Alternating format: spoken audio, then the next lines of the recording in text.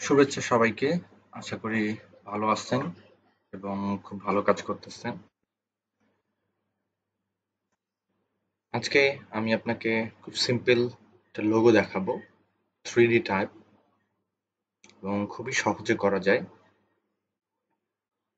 আমি এক হাজার বাই এক হাজার পয়েন্টের একটা নিউ ফাইল নিয়েছি, এটা লোগোর জন্য। দেন এখন আমি রেক্টেঙ্গেল টুল নেব। নেওয়ার পরে একটা রেক্টেঙ্গেল ড্র করব। এরকম। দেন আমি মুভ টুল নিব। মুভ টুল নিয়ে অল্টার প্রেস করে কপি করে নিব। আমি অল্টার প্রেস করে আরেকটা কপি করে নিব। নেওয়ার পর এটা শিপ প্রেস করে ধরে রোটেট করে দেবো এদিকে, নব্বই ডিগ্রিতে স্ট্রেট দিয়ে আমি এটা এখানে বসাই দেবো মাঝখানে।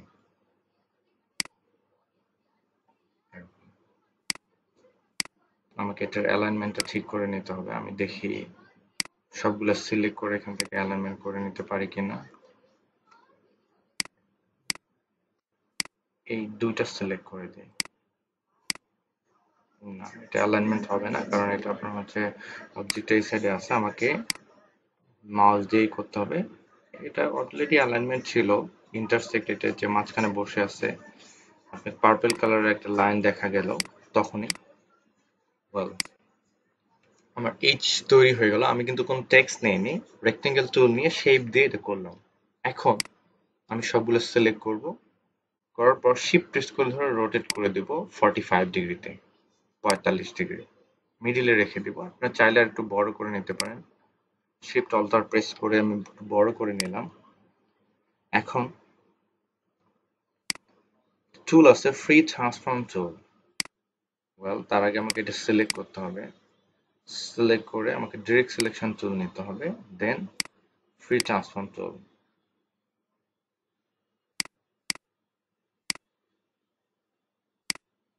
direct selection tool নিলাম, নেওয়ার পর ফ্রি ট্রান্সফর্ম টুল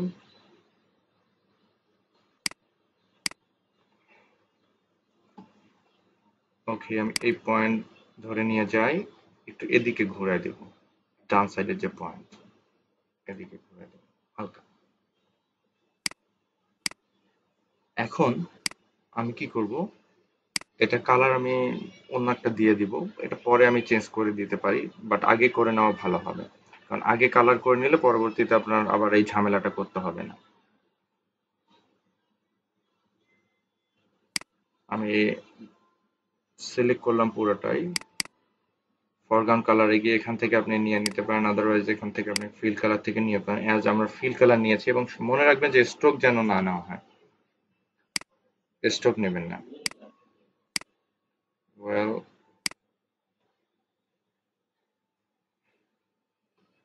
আমার একটু ডার্ক কালার নেই। ঠিক আছে। এখন আমি লাইন সেগমেন্ট নিব। লাইন সেগমেন্ট নেওয়ার পরে লাইন ড্র করব আমি এখান থেকে। আপনি চাইলে এখান থেকেও করতে পারেন আর উপর থেকেও করতে পারেন নো প্রবলেম শিপ প্রেসকে ধরে লাইন ড্র করবেন। আপনি চাইলে স্ট্রোক নিতে পারেন, আমি একটু লেফট সাইডে নিয়ে এটা কর্নারটা যেন মিলে যায়। আর এটা নিলাম। এখান থেকে আমি আরেকটা করে নেব।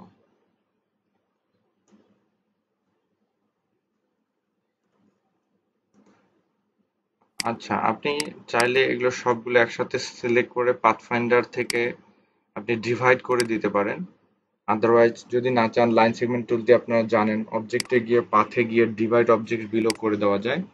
এখন এটা সিলেক্ট করে রাইট ক্লিক করে আমি আনগ্রুপ করে দিলাম। আনগ্রুপ করে দেওয়াতে আমার এগুলো পার্ট হয়ে গেছে। দেখেন, আলাদা আলাদা পার্ট হয়ে গেছে। আমি শিপ প্রেস করে ধরে এগুলো সিলেক্ট করতে পারি। তাহলে সবগুলো একসাথে সিলেক্ট হবে। হওয়ার পরে আমি কালারটা একটু চেঞ্জ করে দেব।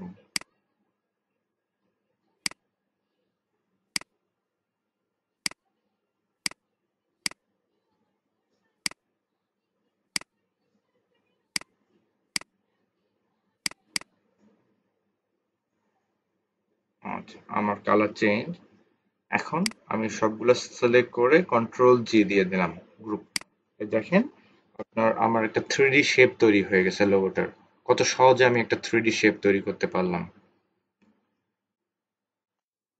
আশা করি বুঝতে পেরেছেন সবাই। আপনারা এটা সেভ করবেন। সেভ করার জন্য ফাইলে যাবেন। ফাইলে গিয়ে সেভ অ্যাজ গিয়ে প্রথমে ইপিএস এ সেভ করবেন।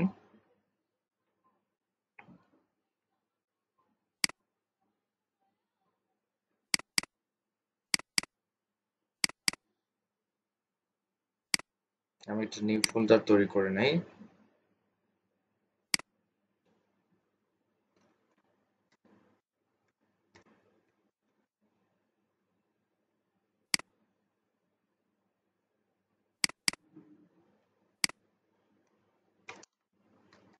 লোগো আপনি অ্যাডোব ইলাস্ট্রেটর অথবা ইপিএস এ সেভ করতে পারেন।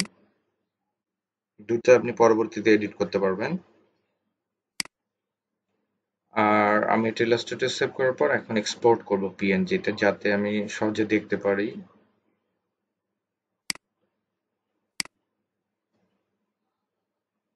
আপনি সেভ ফর ওয়েব করতে পারেন। সেভ ফর ওয়েব করলে কি হবে? আপনি সাইজটা কম পাবেন। এবং এখানে পিএনজি করে রাখবেন অবশ্যই পিএনজি পিএনজি টোয়েন্টি ফোর দিলেই হবে। সেভে ক্লিক করবেন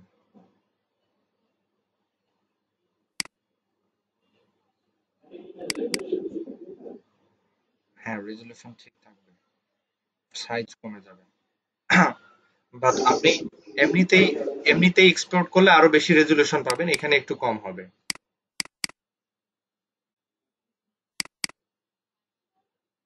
সেভ করে দিন।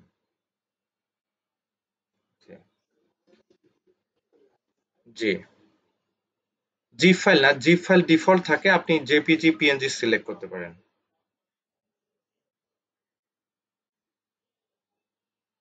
জি জিফ লেখা থাকে, আপনি চাইলে ওখানে পিএনজি করতে পারবেন।